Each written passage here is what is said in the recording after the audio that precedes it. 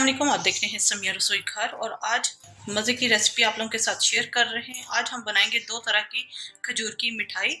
एक हम बनाएँगे डेट बॉल्स और एक हम बनाएँगे डेट रोल। अगर आप मेरे चैनल पर नए हैं, मेरे चैनल को सब्सक्राइब नहीं किया तो सबसे पहले सब्सक्राइब कीजिए, साथ बेल आइकन प्रेस कीजिए, ताकि आने वाली हर वीडियो का नोटिफिकेशन आपको सबसे पहले मिलता रहे। डेट बॉल्स बनाएँगे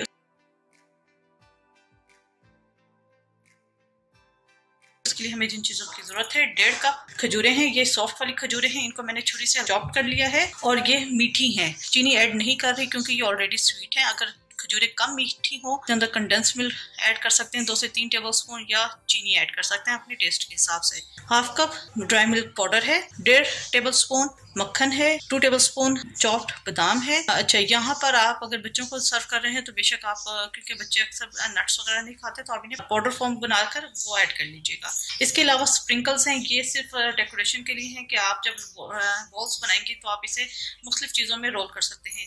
आप इन्हें स्प्रिंकल्स में रोल कर सकते हैं। इसके अलावा यहाँ पर मेरे पास नारियल का पाउडर है। मैं इसके अंदर इसे रोल करूँगी। खजूरे ऑलरेडी स्वीट हैं और ये स्प्रिंकल्स भी स्वीट होते हैं तो इसलिए मैं इसको सिर्फ़ आपको दिखाने के लिए एक दो बॉल्स बस बनाऊँगी। इसके अलावा और ज़्यादा नहीं बनाऊँगी। आप इसे कोको पाउडर के अंदर भी बॉल्स को रोल कर सकते हैं। तो आइए स्टार्ट करते हैं।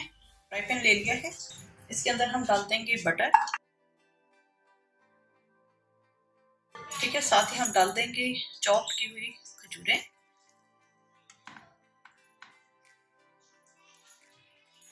और इसे हमने बहुत अच्छे तरीके से कुक करना है ताकि ये मैशी सी हो जाए। ये ऑलरेडी इतनी सॉफ्ट है कि ज़्यादा टाइम नहीं लगेगा।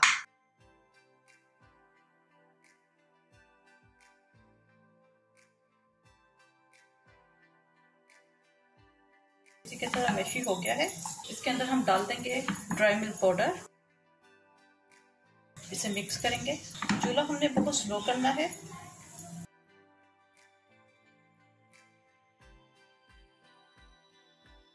मिक्स करेंगे कि तमाम जो ड्राई मिल्क पाउडर है वो इसके अंदर मिक्स हो जाए।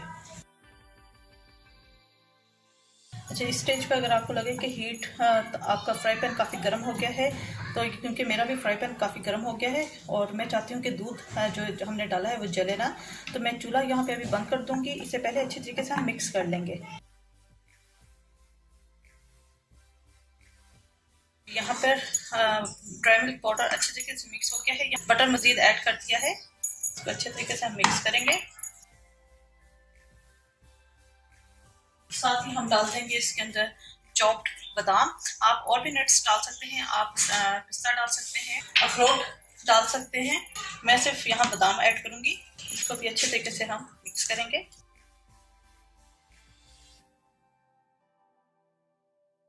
क्योंकि खजूरें ऑलरेडी मीठी थी। चीनी या कंडेंस मिल्क डालने की ज़रूरत नहीं है। अगर आपकी पास जो खजूरें हैं, वो मीठी नहीं है, कम स्वीट है तो आप उसके अंदर चीनी ऐड कर सकते हैं या फिर आप कंडेंस मिल्क डाल सकते हैं अपने टेस्ट के हिसाब से।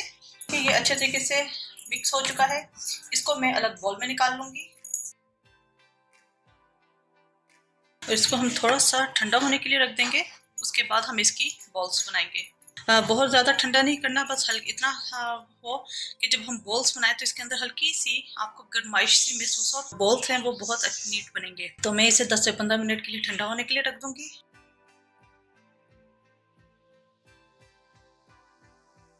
ठंडा हो चुका है, बस हल्की सी इसके अंदर गर्माइश सी है। इसके अब हम बॉल्स बनाएँगे। बॉल्स आपने अपने हिसाब से बनाने हैं। आप छोटे भी बना सकते हैं और बड़े भी बना सकते हैं।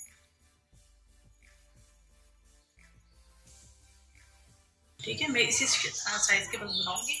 और यहाँ पर मैंने नारियल रखा हुआ है और इसको हम नारियल के अंदर कोट करेंगे। को देनी है तो आप इससे भी छोटा साइज़ रख सकते हैं।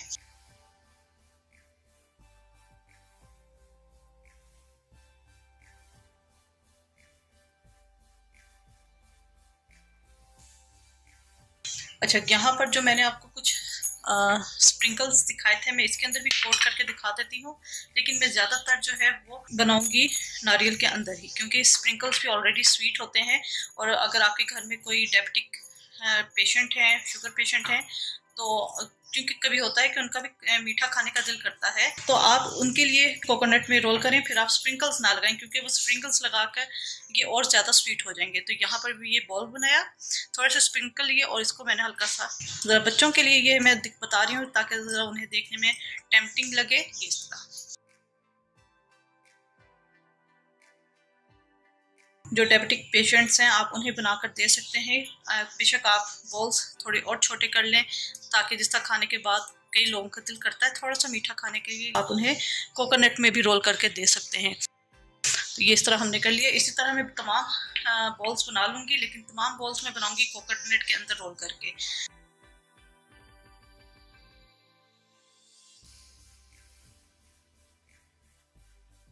जी ये तमाम बॉल्स डेड बॉल्स हमने बना ली हैं। इस मिक्सचर के अंदर तकरीबन पंद्रह ये बॉल्स बनी है। आप चाहे तो इसे बड़ा कर लीजिए या आप साइज़ और मजीद छोटा कर सकते हैं। ये हमारी एक डिश तैयार हो गई है। अब हम बनाएँगे डेट रोल अब बनाएँगे।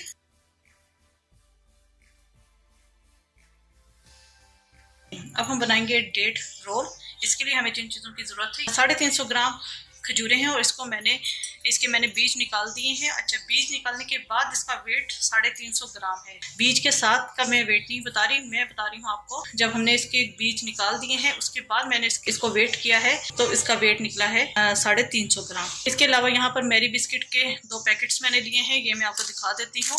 ये वाला मैंने रोल लिया था, दो रोल लिए थे, और ये तकरीबन sixty five point two grams का है, ठीक है? इसको मैंने हल्का सा हाथ से ही क्रश कर लिया है। टू टेबल स्पून बटर है क्वार्टर कप बादाम है चॉप्ड आप इसकी जगह मिक्स नट्स भी डाल सकते हैं, आप इसके अंदर अखरोट भी डाल सकते हैं, आप इसके अंदर पिस्ता भी डाल सकते हैं, यानी आप तीनों बादाम, पिस्ता और अखरोट को मिक्स करके आप डाल सकते हैं, आपको एक नट्स भी डाल सकते हैं। तो यहाँ पर मैंने सिर्फ़ बादाम लिए हैं, एक अदद अंडा जाएगा, दूध जाएगा, तीन सौ यानी जितनी आपकी खजूरें हैं, उतना ही आपका इसके अंदर दूध ऐड करेंगे। नारियल का पाउडर है, इसको कहाँ यूज़ करेंगे, ये मैं आपको बाद में बताऊँगी। तो आइए स्टार्ट करते हैं। यहाँ मैंने फ्राई पैन ले लिया है, इसके अंदर हम डाल देंगे दूध।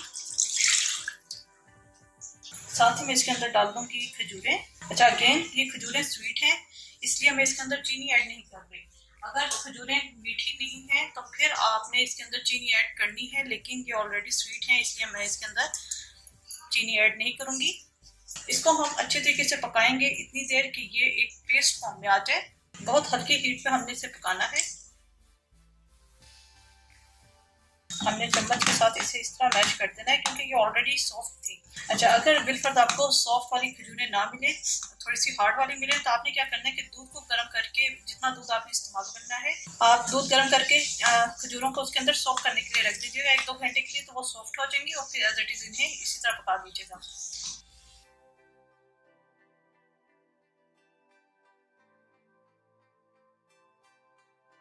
अगर आप की जो खजूरें यूज़ कर रहे हैं, वो मीठी नहीं है तो फिर आपने स्टेज के ऊपर इसके अंदर चीनी ऐड करनी है और साथ में हम डालेंगे मक्खन। क्योंकि ये ऑलरेडी स्वीट है तो इसलिए मैं चीनी ऐड नहीं करूँगी। इसे अच्छे तरीके से हम मिक्स करेंगे। ठीक है, ये मक्खन डाल के भी मैंने अच्छे तरीके से मिक्स कर लिया है। यहाँ पर मैंने इसका चूल्हा बंद कर दिया है। इसकी वजह यह है इसके अंदर हमने डालना है अंडा। अंडा अगर हम चूल्हा ऑन करके डालेंगे तो ये स्क्रम्बल बन जाएगा। हमें इसको स्क्रम्बल नहीं करना। विस्क का इस्तेमाल करूँगी। इसको अंडे को पहले हम हल्का सा मिक्स करेंगे। यहाँ पर हम ये अंडा डालेंगे और इसे अच्छे तरीके से जल्दी से मिक्स करेंगे।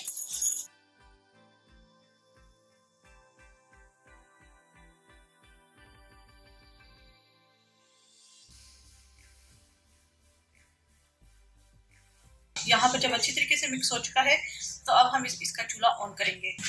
और दोबारा हम इसे पकाएँगे ताकि जो हमने अंडा डाला है उसका कच्चापन खत्म हो जाए।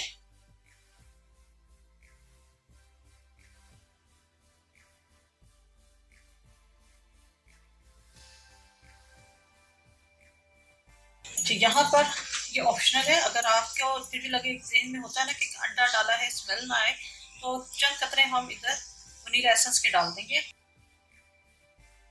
तो मिक्स करेंगे। का काम खत्म हो चुका है। अब इस स्टेज के ऊपर हमने डालनी है ये जो मेरी बिस्किट्स हमने चूरा किए हुए थे वो। बादाम। इसको हम अच्छे तरीके से मिक्स करेंगे।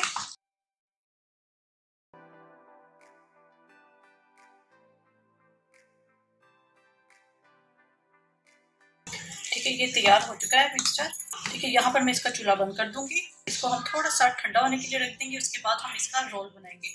ये मिक्सचर ठंडा हो चुका है। मैंने फॉयल पेपर ले लिया है। इसके अंदर हम इस मिक्सचर को डालेंगे। एक और चीज़, अगर आप रोल बड़ा बनाएँगे तो ऑब्वियसली उसके पीसेस जो है, जब कटिंग होगी तो वो बड़े बनेंगे। अगर आप बाइट साइज़ बनाना चाहते हैं तो फिर इस मिक्सचर में आप दो छोटे रोल बना लें तो वो ज़्यादा बेहतर होता है। पीसेस छोटे कटेंगे और इजीली इस्तेमाल में आ जाएँगे और वेस्ट नहीं होंगे।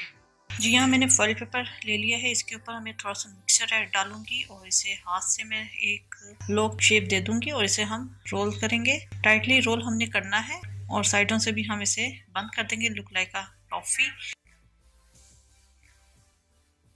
तरह मैं दूसरे भी बनाऊँगी, इस मिक्सचर में मेरे तीन रोल तैयार हुए थे। सेम वही प्रोसेस है, मैं दूसरा रोल भी बनाऊँगी।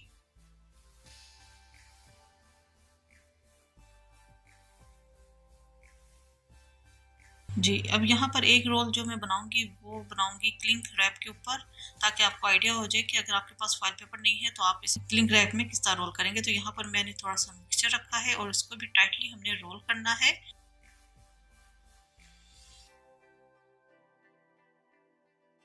और इसे हमने फ्रीज़र में रख देना है एक घंटे के लिए, दो घंटे के लिए, जब तक ये अच्छी तरीके से सेट ना हो जाए।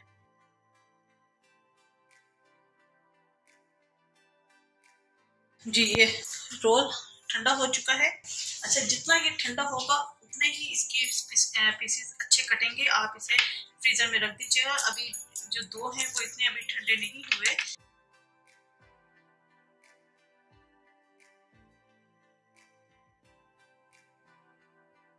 ठीक है, और यहाँ पर मैंने नारियल का पाउडर लिया हुआ है। और इसको हम इसके अंदर रोल करेंगे। ये ऊपर एक कोटिंग सी आ जाएगी, क्योंकि जितना अच्छा ये जमा हुआ होगा, उतने ही आपके जो रोल है, इसके स्लाइसेस अच्छे कटेंगे।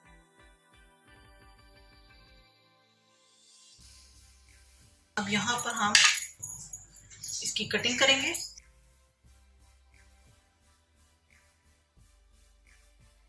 तरह मैं तमाम काट के रखती रहूँगी।